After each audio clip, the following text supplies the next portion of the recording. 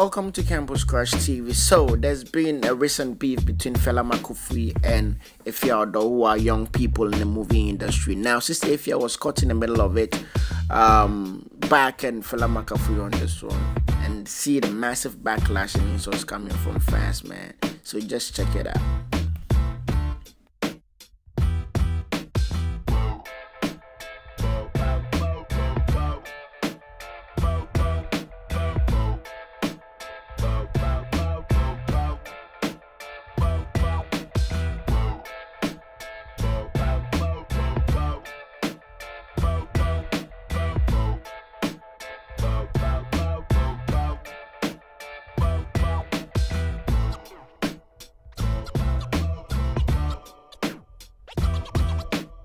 Alright, so that's it for today. Subscribe to this channel for more information and updates on this particular beef.